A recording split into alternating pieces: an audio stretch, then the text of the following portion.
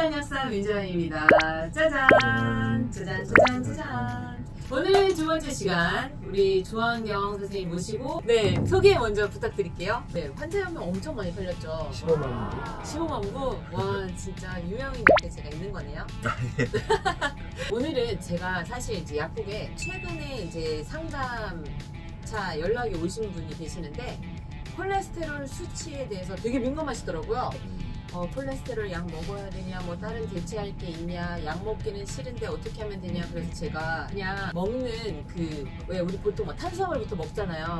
그러니까 탄수화물 좀 줄이시고 먹는 순서를 좀 바꿔라 이렇게 안내를 해드렸어요. 근데 이분은 약간 의아해 하시더라고요. 어, 약 안 주시고요? 막, 아, 제가 봤을 때는 그냥 조금만 이렇게 조절하시면 될 것 같은데요. 이랬더니 되게 놀라시면서 이제 상담이 끝났는데 이제 LDL도 조금은 높았어요. HDL은 높고 LDL도 높아요. 저는. 네, 근데 이제 그 콜레스테롤은 일주일 단위로도 바뀔 수가 있기 때문에 우리 원장님의 고견이 듣고 싶어서 콜레스테롤 약을 주는 대로 처방하는 대로 예전처럼 그렇게 다 받아 드시지 않고 안 먹으려고 하는 분들이 많거든요. 그 찾아오신 분 같은 경우는 저는 먹고 싶어서 물어본 건 아닌 거죠. 싫은 거죠. 내가 줄 수 있는 조금 다른 이렇게 우회할 수 있는 좋은 성분들이 있냐 홍국이나 뭐 마늘, 콜레스테롤 약 스타팅만큼은 아니지만 콜레스테롤 어느 정도 확실하게 낮추라게. 근데 콜레스테롤 수치를 그냥 무조건 낮추는 게 목적이라고 한다면 병원에 스타팅 약 드시면 돼요. 근데 네. 이제 보통 이제 먹으면 못 끊는다 이런 또 강박이 있으시더라고요. 많은 분들이 뭐 네. 혈압약도 그렇고 네. 이제 고지혈증 약 같은 경우는 한번 네. 먹으면 못 끊지 않냐 이래서 시작을 못 하시는 분들이 많죠.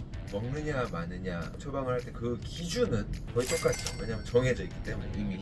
어, 그래도 약간 차이가 있을 수 환자 입장에서 중요한 건 의사가 아니라 환자 입장이니까 내가 콜레스테롤이 높다고 쳤을 때 이 콜레스테롤을 제약회사에서 만든 허가된 그 스타틴 약물을 통해서 숫자를 낮추는 게 목적이라고 한다면 의사와 환자가 그걸 그대로 하면 돼요.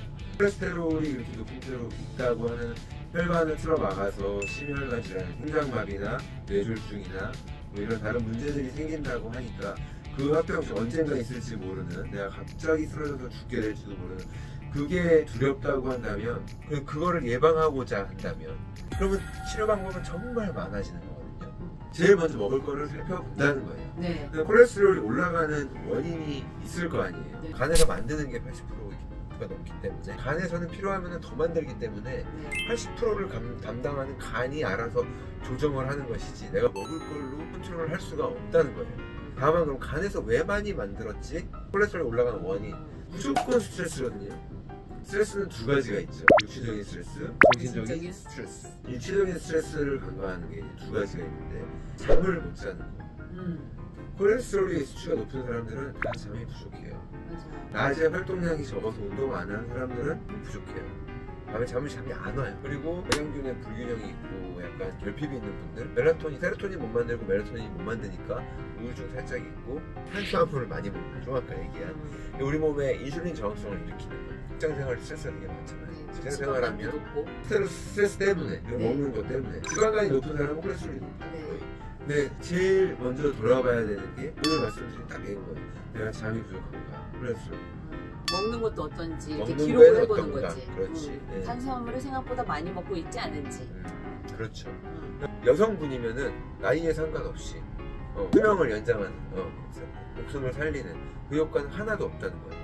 지금 말씀드린 남성인데 60세 이상 음, 어, 이미 심장마비가 한 번 있었던 사람이 음. 두 번째 심장마비를 예방할 때 효과가 있다. 그러면 이 영상을 보시고 여성분들은 다 스타틴을 끊어버리시겠는데요? 나는 내 콜레스테롤 수치가 피검사상에서 정상으로 나오면 좋겠어. 음, 그리고 뇌졸중이나 심장마비가 예방될 거라고 굳게 믿어. 라고 한다면 스타틴 약물을 드시면 되는 거고 사용하는 거에 대한 기준이 좀 다른 것 뿐이지. 콜레스테롤 경계 걱정이신 분들 좀 이해가 되셨을 것 같은데 240, 50 총콜이신 분들은 그 내가 어떤 수면 패턴과 어떤 시기를 하고 있는지 또는 나의 스트레스 지수 이런 것들을 잘 체크를 하시면 이제 그 다음에 나한테 필요한 것들이 무엇인지 이렇게 라이프스타일을 좀 교정하면서 바꾸시면 충분히 가능할 거라고 생각하시죠? 네, 그거는 자기가 할 수 있는 부분이니까 의사 선생님이 해줄 수 없는 부분이고 네. 중요하잖아요. 네, 조금만 더 부지런하시면 될 것 같습니다. 낮에 운동 많이 하시면 밤에 졸려요. 맞습니다. 네. 확실하죠. 네. 도움이 되시길 바라면서 이만 마치도록 하겠습니다. 안녕. 감사합니다. bye 안녕.